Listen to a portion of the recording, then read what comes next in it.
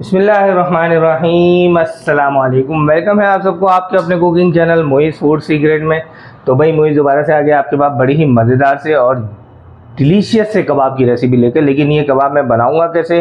किस तरह से तैयार करूँगा, ये मैं आपको बताता हूँ। सबसे पहले मेरे करीब आए, ताकि एज़ यूजुअल मैं आपको एक ओवरव्यू दूँ और आपका दिल ललचाऊं, ताकि आप भी मेरे साथ इस रेसिपी में आखिर तक बने रहें।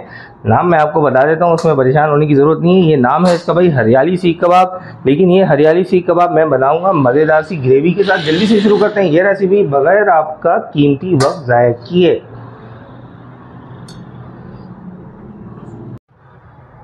तो भाई कीमा जो है ना, वही एज़ यूजल आपने बहुत बारीक सा पीसना है। कीमा मोटा नहीं होना चाहिए, वरना मज़ा ख़राब हो जाएगा सारा का सारा। ये मैं आपको दिखा देता हूँ। ये देखिए कितना बारीक सा कीमा तैयार हुआ है। प्याज लेनी है, प्याज को भी चॉप कर लिया मैंने, देख, लेकिन प्याज चॉप करने के बाद इसका जितना भी पानी होता है ना, वो सारा निकाल लेना है। अच्छा देखिए हरियाली कबाब है तो भाई इसमें हरियाली चीज़ें डलेंगी। ढेर सारा हरदनिया पुदीना और हरी मिर्चें, इसे जल्दी से मैं पीस लेता हूँ। ग्रीन पेस्ट शामिल करूँगा। इसमें दो चमचे भर के, क्योंकि भाई हरियाली कबाब है तो उसके लिए हरियाली हरियाली करना ज़रूरी है ना। और साथ ही इसमें डाल दूँगा जल्दी से मैं नमक। नमक लेंगे हसबे जायका। एज़ पर योर टेस्ट नमक शामिल कर देंगे इसमें। और देखिए भाई, यहाँ पे मैं शामिल कर रहा हूँ मेल्टेड बटर ये मेल्टेड बटर लेने का जो रीज़न है ना, वो आप इस पॉइंट को नोट कर लें। वो रीज़न मैं आपको आगे चल के फिर दोबारा से समझाऊँगा कि इसमें मैंने मेल्टेड बटर क्यों शामिल किया। एक चमचा भर के आ जाएगा इसमें। गरम मसाला और कोई स्पाइस इसमें शामिल नहीं होगा, कोई दूसरा मसाला शामिल नहीं होगा। ऑलरेडी देखें, गरम मसाला, तमाम स्पाइसेस का जो है मिक्सचर होता है। इसमें काली मिर्च होती है, लौंग होती है, छोटी इलायची, बड़ी इलायची, दालचीनी, ये तमाम चीज़ें इसमें शामिल होती हैं। जायफल जवेत्री वगैरह सब इसमें शामिल होता है। पिसा हुआ गर्म मसाला ये आपके तमाम मसालों की कमी को दूर कर देगा। बस जल्दी से इसे मिक्स करते हैं अच्छे तरीके से। हाथों में चढ़ा लिए मैंने ग्लव्स और अब इसे करेंगे मिक्स इसकी मिक्सिंग बड़ी शानदार किस्म की होगी। आपने जो है ना लड़ाइयाँ लड़नी है इसके साथ। लड़ाई करते करते आपको इसे मिक्स करना है। इस तरह से आपने इसको जो है ना रगड़ा देना है ऐसे ऐसे करके। आप हथेली से ऐसे ऐसे करके इसने आपने रगड़ा देना है इसमें। ये देखो भाई, ये कितना बेहतरीन सा मिक्स हुआ है। बिल्कुल मक्खन मलाई हो गया है। मैं आपको जो है ना एक छोटा सा गोला दिखाता हूँ। ये देखें। ये गोला आपने लिया, ये इसमें देखो, ये अभी से कितना बेहतरीन से तैयार हो रहा है। ये ना टूटेगा, ना गिरेगा, ये बेहतरीन सा फ्राई होगा और चाहे तो आप इसे सीख पे भी बनाएँ, मैं आपको सीख पे बना के दिखाऊँगा।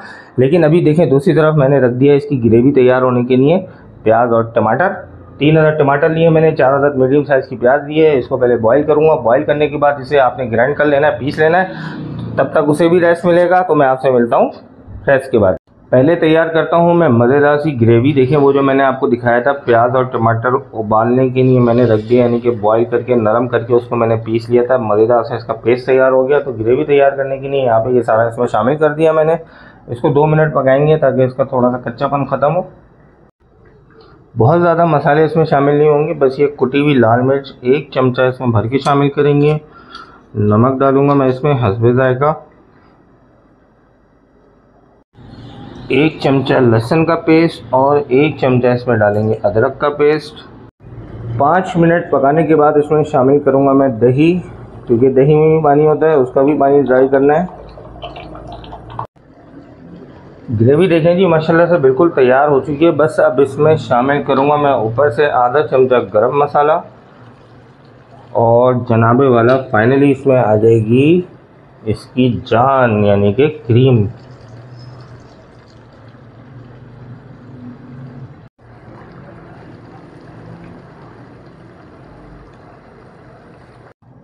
बस क्रीम शामिल करते ही चूल्हा बिल्कुल बंद कर देंगे, क्रीम को मिक्स करेंगे अच्छी तरह से, और ये ग्रेवी भी तैयार है, माशाल्लाह ऐसे मैं रख दूँगा साइड पे, जब तक मैं अब तैयार करने जा रहा हूँ। जी, मज़ेदार से सीख कबाब।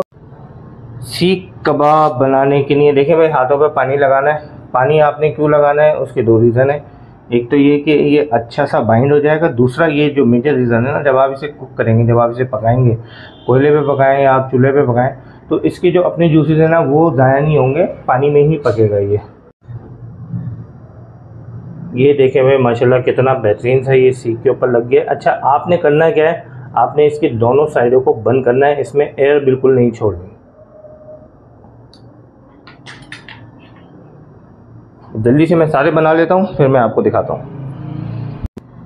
तो भाई देखें, माशाल्लाह से ये सीके तैयार हो गई हैं।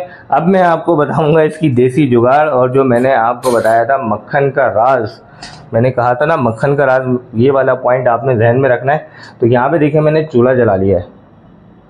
भाई, चूल्हा तो जल चुका है। अब आपके पास कोई ख़राब सा छन्ना हो स्ट्रेनर जिसे हम कहते हैं, उसे रख देंगे चूल्हे के ऊपर।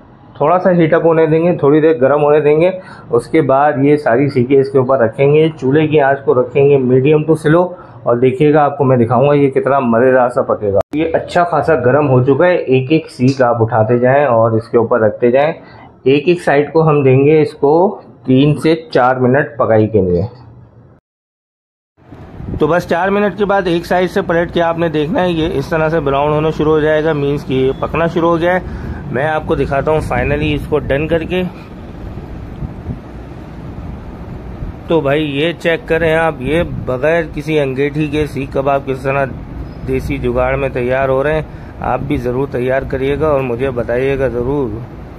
जल्दी से मैं करता हूँ इसे सर्व तो भाई ये जो सर्विंग टाइम होता है ना, ये मुझसे सबर नहीं होता, क्योंकि इसकी खुशबुएँ जो है मुझे पागल कर रही हैं। मैं आपको सर्व करके दिखाऊँगा इसको कितने मज़ेदार से तरीके से सर्व करेंगे। ये सीख कबाब आ गए और ऊपर से इसके ऊपर डालेंगे ग्रेवी नए तरीके से, पुराने वाले तरीके छोड़ दें भाई, कबाब को उसके अंदर डाल के दम देना है, पकाना है। अब उसकी ज़रूरत ही नहीं है। ये इतने जूसी जूसी से कबाब तैयार हुए ये ऊपर ऊपर से आप इसके ऊपर ग्रेवी डालते जाएँ।